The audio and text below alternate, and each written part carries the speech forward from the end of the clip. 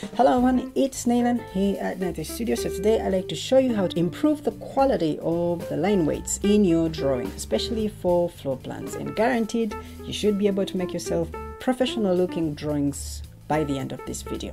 So now let's get started with the basics.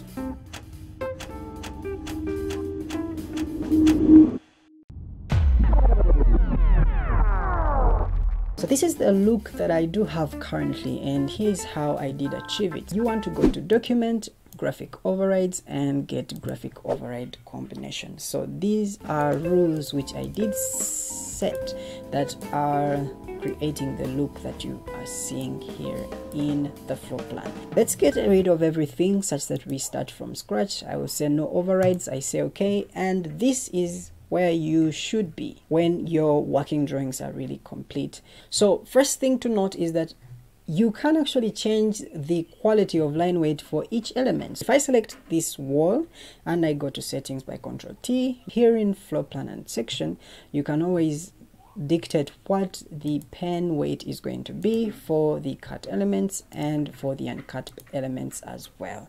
So that's the first area that you can start from if you want to adjust what those things are going to look like. But doing that manually is going to take a, a bit more time because then you have to select everything and affect them differently. But now we can set some rules if we go to where we did say document graphic overrides, graphic override combinations, and we create our own combination.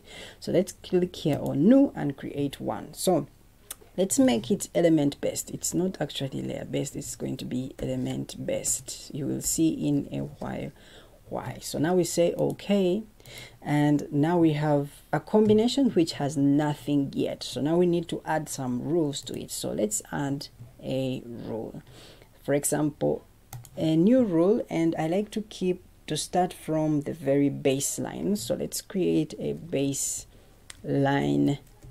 whatever you want to call it and I say okay. And in that rule we want to edit and make everything grayed out. So let's say oh go into here the settings or you can just go edit rules such that you are able to see these things. You can see by default we have element type is all types. This is important such that you are going to affect everything that you have in your in your design. So now let's put in a line. Weight let's override all those lines and make them grayed out we are going to make them like a 0.13 if you're using the architectural pen and the fill foreground as well and the fill background pen as well. Let's make these grayed out. And for the background fill you want to choose the background or a white or something like that. So this is what we want to and I don't think we need to change a fill type because we want every element to keep its fill type. The columns to have their own fill type as well as the walls to have their own fill types as opposed to having all of them with one fill type. Okay let's say okay and say okay. So now we have ourselves a pretty good baseline where everything is kind of grayed out and laid back. So now we want to begin by bringing out those walls so we can see them. So let's go back and actually in order to get those things a little faster let's just take these things apart a little bit. I'm going to get all these I don't need this renovation filter thing.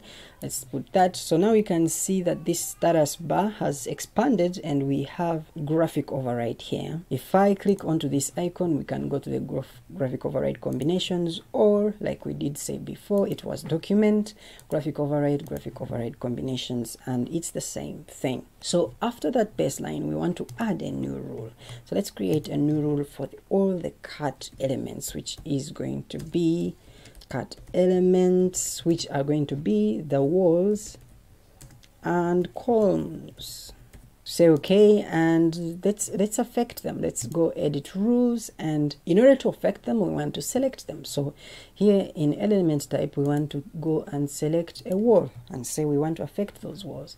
And we want to add another element type by clicking here and clicking here on the main. We have element type and select columns and we're selecting these because I know that those are the things the major things that I'm cutting through on the floor plan. So we have the wall and the columns. If you had any other element, you would add it there. If you had like beams and what, and they're being cut on the floor plan, you can add them as well. And then we affect what line type that is. So now it's around this pen. So let's choose something like this 0.35 and let's also affect its foreground and background. Of course the background is going to be uh, white or the background pen and we want to use a light pen perhaps a 0.18 or something. So let's say okay and see what that looks like well, nothing happens, and nothing happens because if we go back here in the graphic override settings, we want to move this above the override here, such that it's first before the baseline. So when we say okay, now we have something going on. It's not yet what we want, but it's something. Now you can see the difference between this line weight and that line weight and that's where we want to start from. So in order to see what it's going to be look like when you do print you want to change the percentage from this to 100 percent. So that's what the printed version is going to be. So that may not be clear enough. So you want to increase the pen weight. So now we want to look at another thing which is the pen weight. So where do we find pen weights? It's in option element attributes and we go to pen and color. So when we come here in pen and color remember we did choose this one right here which is the 0.35 and we want to increase it. So and to be a little bit more drastic such that you guys can see it. You can always choose the weight that you want so i'm going to make it 0.7 such that it's strong enough. So now when i say okay you can see that instantly we have that. We have a difference here.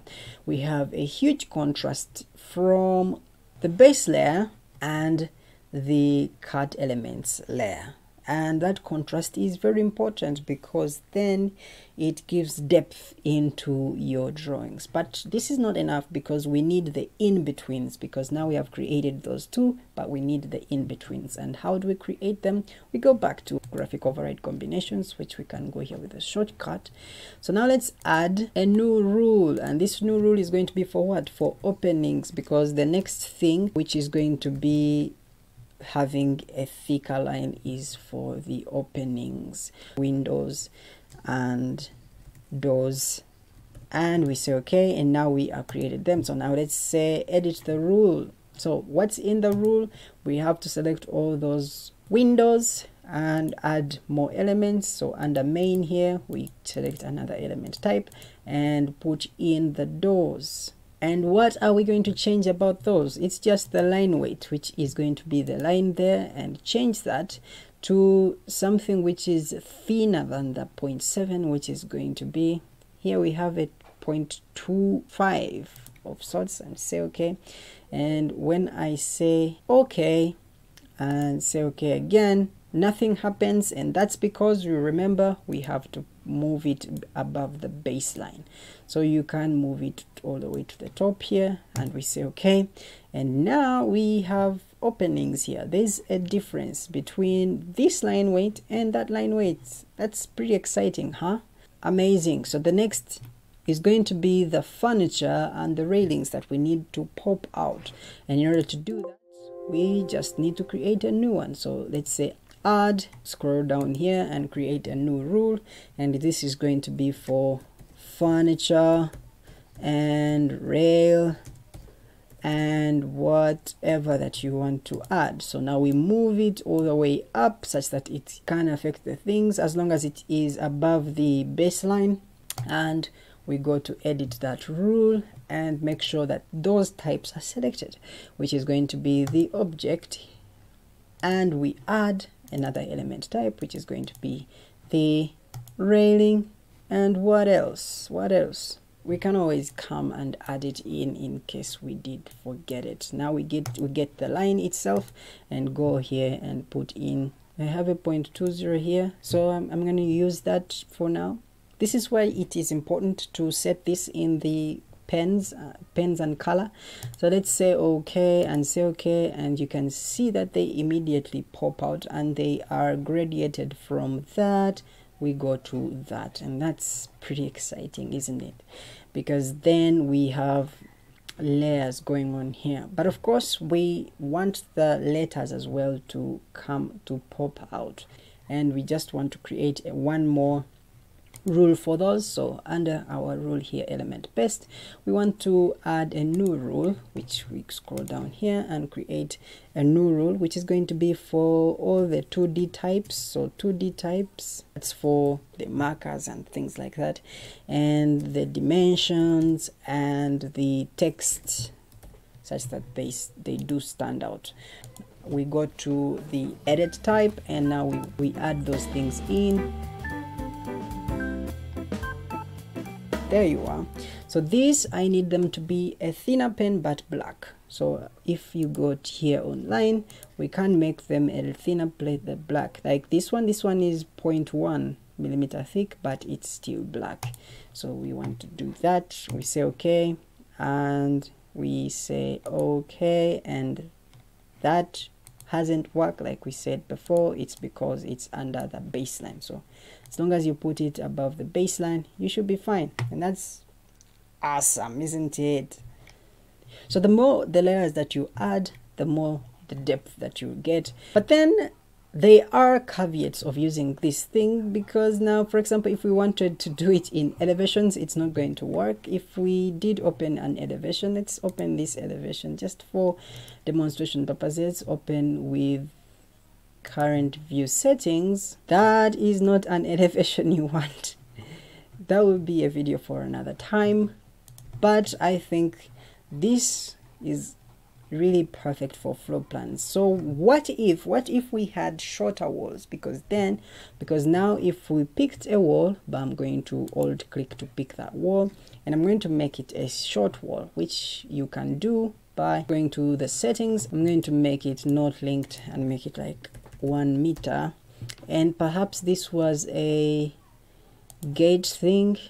Never mind we can't have the boundary wall in this kind of drawing but you can see that this has the same line weight as that and that's not really true because then it wouldn't make sense to have a short wall the same line weight as that one well there is a way you can do that you can create also affect the line weight using layers. For example, if we create a new layer, so we can go, go to layers by going to document layers and we go here in layers.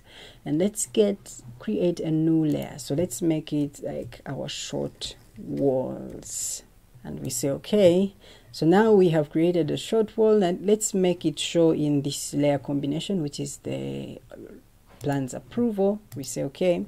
And select these walls and put them on that very layer which is the short walls just for demonstration. So now we have these walls on the short walls layer.